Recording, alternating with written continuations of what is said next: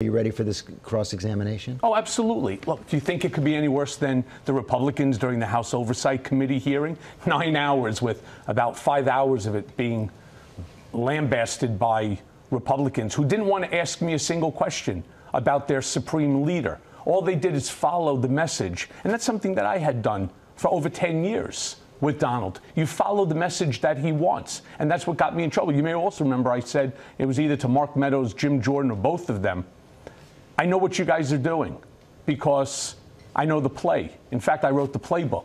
So look at what's happened to me. It's not good. And what happened to me will ultimately happen to you.